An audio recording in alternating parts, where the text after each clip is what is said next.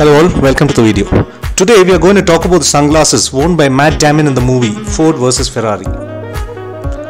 The sunglasses spotted are Beacon model 1020 from the brand Entourage of 7. Entourage of 7 brand belongs to the Bellinger house.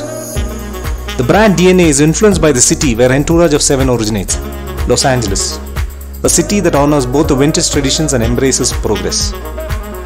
The beacon is a panto shaped sunglass made from translucent zinc acetate material that is derived from cotton.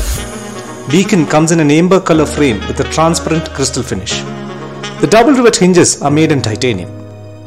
The beacon sunglasses are handmade in Japan. The lenses are from CR39 material plastic with G59 green tinted lenses. The lenses come with an anti-reflective coating on the inner side. This reduces glare and offers optimum vision.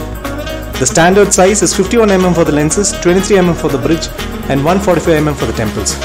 You can see the design details on the temples like the dice logos that represent lucky number 7, and the signature E7 logo on the tip of the temple, which is an E and a 7. Each sunglass is sold with a leather case that folds flat for easy storage and a cleaning cloth.